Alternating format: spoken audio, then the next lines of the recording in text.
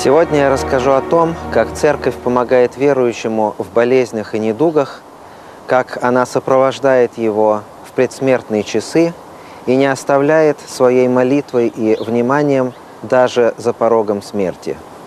Что такое соборование и от каких болезней оно помогает? Как исцеляли больных апостолы? Почему самоубийц не отпевают в церкви? Зачем нужно молиться за умерших? И что ждет человека за порогом смерти.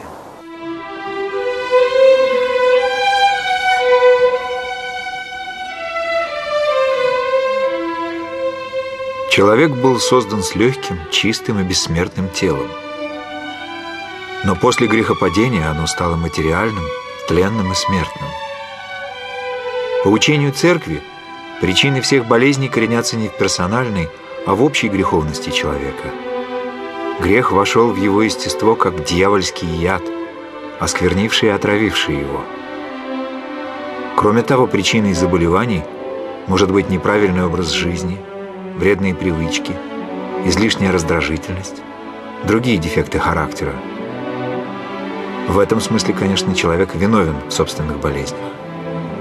Каждый несет ответственность за здоровье своих детей. Ведь известно, что в семьях алкоголиков или наркоманов – дети нередко рождаются с отклонениями.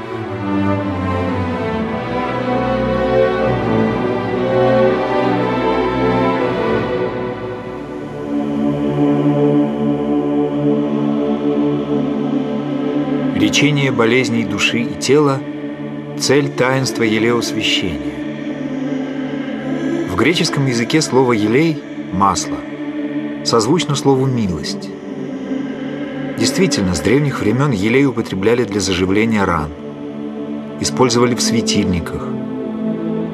Наряду с пшеницей и вином он был одним из основных пищевых продуктов. Изобилие елея воспринималось как благословение Божие, а отсутствие – как наказание. Елей был одним из главных религиозных символов Ветхого Завета и воспринимался как символ спасения, примирения с Богом, любви, радости. В христианстве он стал еще и символом духовного исцеления. Христос часто спрашивал обращавшихся к Нему за помощью людей, «Веруете ли, что я могу это сделать?» Возвращая здоровье, он лечил от недуга неверия, отпускал грехи и предостерегал от их повторения, указывая тем на неполноту исцеления тела без уврачевания души. Евангелия не говорят – использовал ли сам Господь елей как лекарство. Но когда Он послал на проповедь учеников, они пошли, как пишет апостол Марк, и проповедовали покаяние, изгоняли многих бесов, и многих больных мазали маслом и исцеляли. Первый епископ Иерусалима, апостол Иаков, говорит, «Болен ли кто из вас? Пусть призовет пресвитера в церкви, и пусть помолятся над ним, помазав его елеем во имя Господне. И молитва веры исцелит болящего, и восставит его Господь, и если он соделал грехи, простятся ему. То есть елеосвящение – это таинство исцеления, а вовсе не предсмертное напутствие, как порой думают.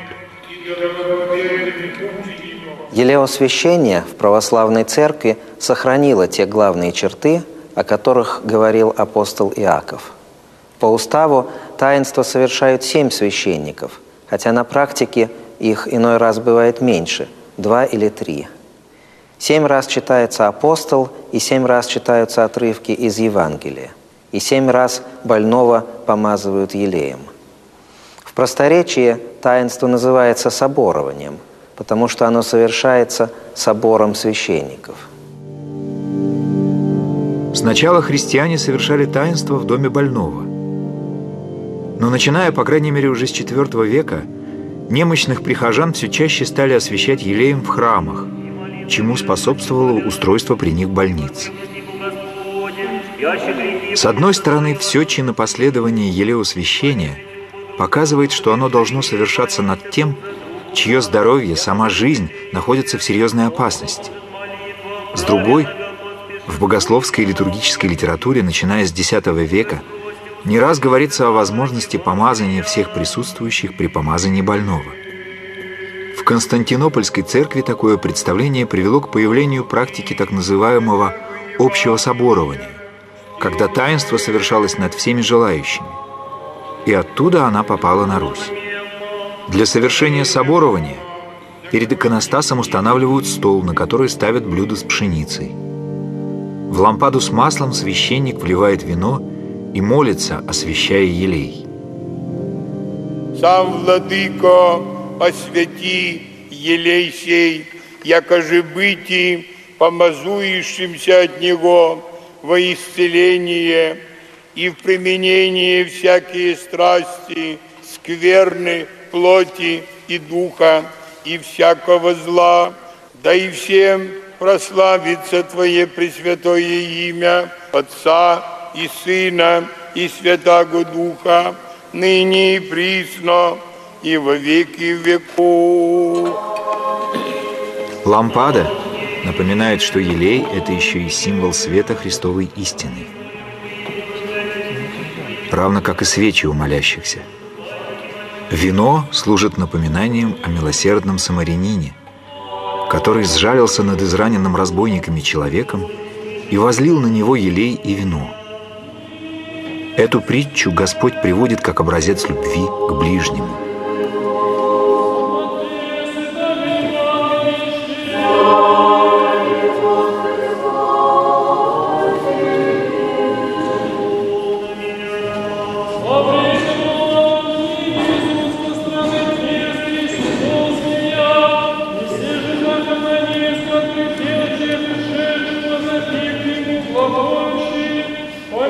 Апостольские и евангельские чтения соборования не связаны между собой тематически, но представляют собой две параллельные подборки на тему исцеления и прощения грехов, через которые проходит мысль о христианской взаимопомощи, милосердии и о связи между исцелением и покаянием. Церковь верует, что в таинстве елеосвящения больному прощаются грехи – но это совсем не означает, что оно может заменить собой исповедь.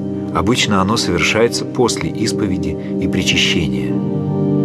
Суть елеосвящения заключается в духовном перерождении, в изменении самого понимания, самого приятия человеком страданий и болезней. Как христианин должен переносить свои телесные болезни?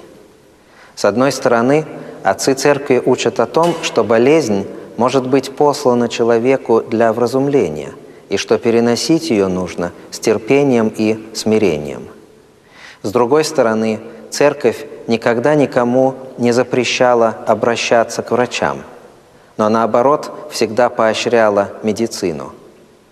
Самое же главное, что в христианской иерархии ценностей Бог, как врач душ и телес, стоит выше любого доктора – а даруемое Богом исцеление души выше уврачевания недугов тела. Доктора возвращают телу здоровье, но болезни снова и снова поражают его.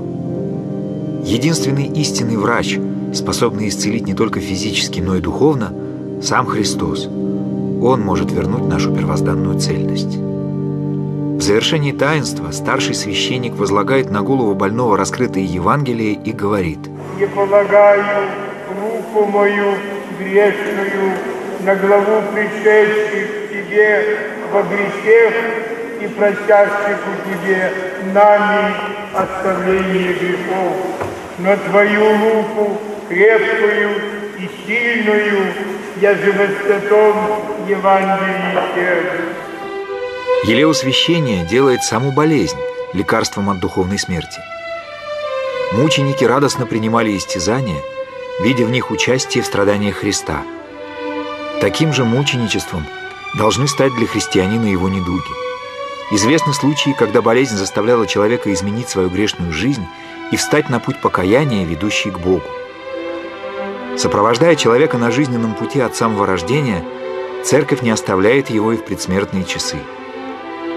В православии придается большое значение исповеди и причащению, как таинствам, которые готовят человека к переходу в вечность. Здоровые люди исповедуются и причащаются в храме. Больные могут пригласить священника домой. Крайне опасно откладывать таинство на последние минуты, ведь человек может умереть, не дождавшись их, или впасть в беспамятство и оказаться неспособным принять их.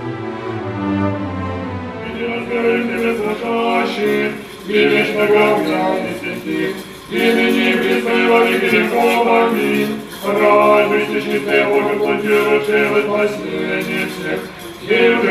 Когда христианин умирает, церковь провожает его в последний путь. По древней традиции тело умершего приносят в храм.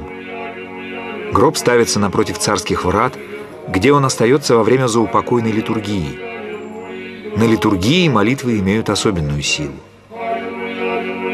Чин погребения имеет двоякий смысл. С одной стороны, и прежде всего, это молитва за умершего. С другой стороны, это молитва утешения и духовного назидания для оставшихся на земле его родных и близких. Смерть — великое таинство. Она рождение человека из земной временной жизни в вечность, говорит святитель Игнатий Бринчанинов. Во время отпевания звучат песнопения Великой Субботы о блаженстве святых — которые обрели источник жизни и дверь райскую. Поются стихиры Иоанна Дамаскина. Это потрясающая проповедь о суете всего, что в мире прельщает нас, что не остается с нами по смерти. Читаются новозаветные отрывки, посвященные всеобщему воскресению. «Не хочу же оставить вас, братья, в неведении об умерших», пишет апостол Павел – дабы вы не скорбели, как прочие, не имеющие надежды. Ибо если мы веруем, что Иисус умер и воскрес, то и умерших в Иисусе Бог приведет с Ним.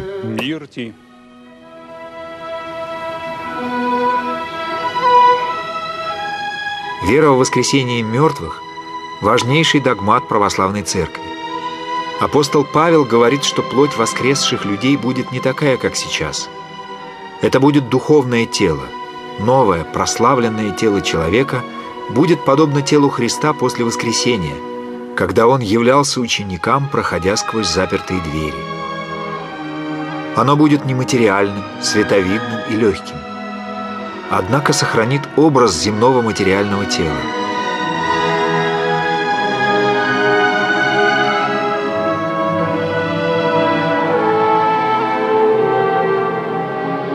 В момент смерти – душа выходит из тела и вступает в новую форму существования.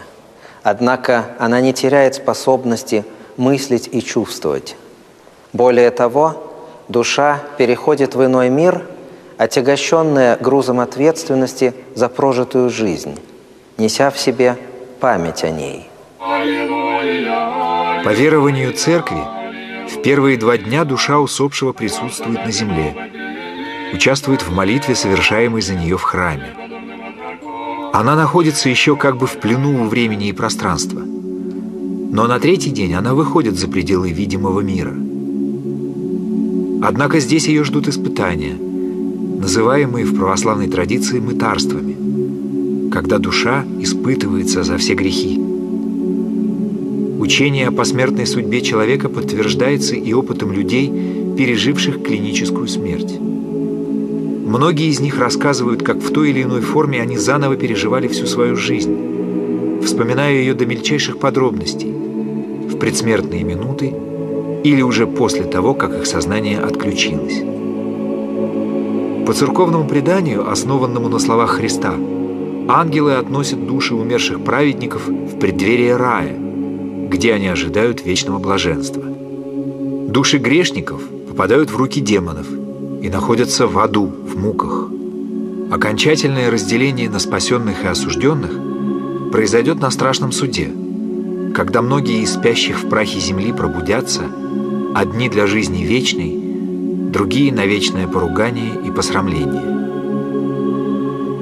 Христианское учение о суде, ожидающем всякого человека после смерти, основано на том, что все поступки оставляют след в душе – и за все предстоит дать ответ перед тем абсолютным добром, рядом с которым никакое зло и никакой грех существовать не могут.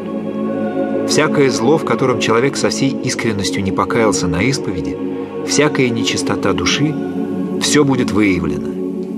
нет ничего тайного, что не сделалось бы явным. Страшный суд будет проводиться над всеми, верующими и неверующими. Но по учению апостола Павла, если христиане будут судиться по Евангелию, то язычники – по закону совести, написанному в их сердцах. Страшный суд – это не только событие, которое произойдет когда-то за порогом смерти. Он начинается в земной жизни. Человек, который жертвует собой ради других, не щадит своего времени, сил и средств для помощи ближним, уже сейчас становится по правую сторону от Бога. А тот, кто живет сиюминутными, своекорыстными интересами, кто сознательно становится на сторону зла, кто допускает тяжкие грехи и не кается – начинает пребывать в аду задолго до смерти. Если ад – это страдание от невозможности любить и непричастности божественному свету, то рай – это блаженство души от соединения со Христом и от причащения к любви и свету. Рай – не столько место, сколько состояние души. Все описания рая с чертогами и обителями – это лишь попытки – выразить человеческим языком то, что невыразимо и превосходит ум. Бог есть любовь, говорит нам Священное Писание. Но каким образом Бог любви может в то же время быть и Богом-карателем, осуждающим свое создание на вечные муки? Преподобный Исаак Сирин отвечает так. «Нет человека, лишенного любви Божьей, и нет места непричастного этой любви. Однако каждый, кто сделал выбор в пользу зла, сам добровольно лишает себя Божьего милосердия. Любовь для праведников в раю становится источником блаженства и утешения, а для грешников в аду – источником мучения. И как горько и жестоко это мучение любви, говорит святой Исаак. Ибо ощутившие, что они погрешили против любви, терпят мучения, которые сильнее всякого другого страшного мучения. И все образы адских мук, существующие в христианской литературе, огонь, холод, жажда, раскаленные печи, огненные озера, лишь символы страдания, которые происходят от того, что человек ощущает, как далек он от Бога. Церковь, однако, не говорит о неизбежности адских мук для грешников – но веруют, что помилование не от человеческой воли, но от Бога милующего, который хочет, чтобы все люди спаслись. Это позволяет православному христианину не предаваться отчаянию при мысли о загробном воздаянии, но иметь надежду на то, что спасение станет возможным не только для праведников, но и для грешников. Пока живет церковь, а она будет жить вечно, не прекратится молитва христиан за находящихся вне Царства Божия – Сердце христианина горит любовью ко всему человечеству, ко всякому созданию Божьему, в том числе к тем, кто ушел из жизни без покаяния. Поскольку у Бога все живы, православная церковь не делает различия между живыми и усопшими в отношении молитвы. В ней нуждаются и те, и другие. Молитва за усопших – древняя традиция церкви, освященная веками. Покидая тело – Человек не покидает церковь, и долг оставшихся – молиться за него. Церковь верует, что Бог принимает молитвы не только о праведниках, но и о грешниках, что по молитвам живых Бог может облегчить их загробную судьбу, избавив их от мучений и удостоив спасения со святыми. По традиции в руки умершего вкладывается текст разрешительной молитвы, которую священник читает над его телом – по окончании чина погребения. Текст этой молитвы очень древний. Он восходит к литургии апостола Иакова. А вот обычай вкладывать свиток в руки умершего возник на Руси. Рассказывают, что когда князь Симон Варяг попросил у преподобного Феодосия Печерского благословения с тем, чтобы оно сопутствовало ему не только при жизни, но и по смерти – преподобный написал для него молитву прощальную, и князь завещал положить эту молитву вместе с ним в гроб, когда его будут хоронить. Под пение Приидите последнее целование дадим братья умершему, благодаря Бога, спокойным прощаются священнослужители и миряне. Во блаженном успении вечный покой подашь, Господи, душу усопшего раба но пристального сердия и сотвори ему вечную память. Вечную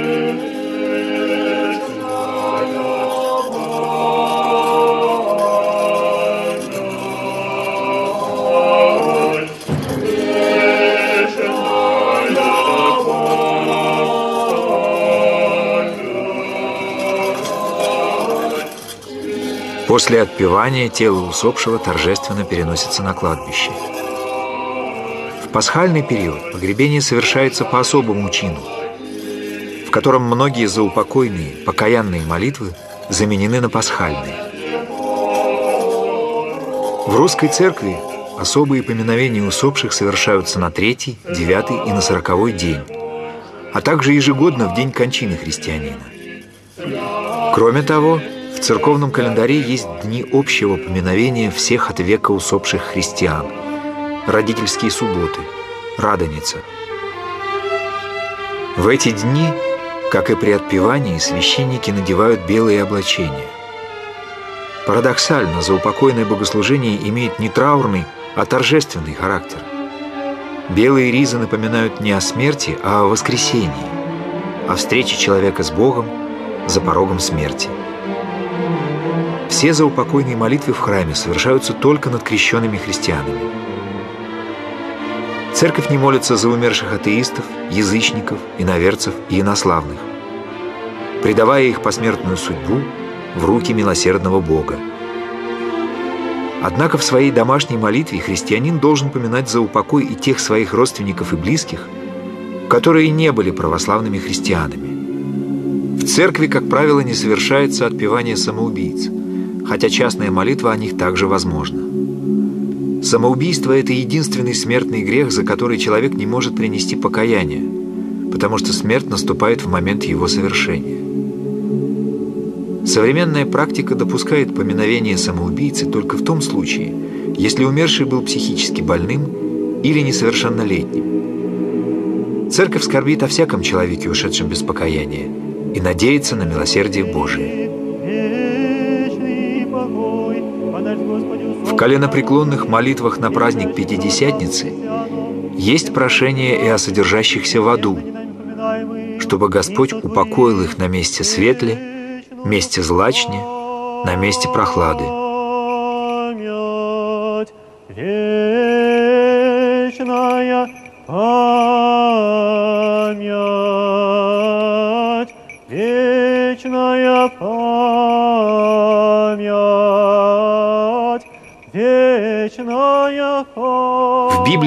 Раем называется сад, где Бог поместил человека. Этим же словом в древней церковной традиции называли будущее блаженство людей, искупленных и спасенных Христом. Оно также именуется Царством Небесным. Некоторые святые были, подобно апостолу Павлу, восхищены до третьего неба и созерцали райское блаженство.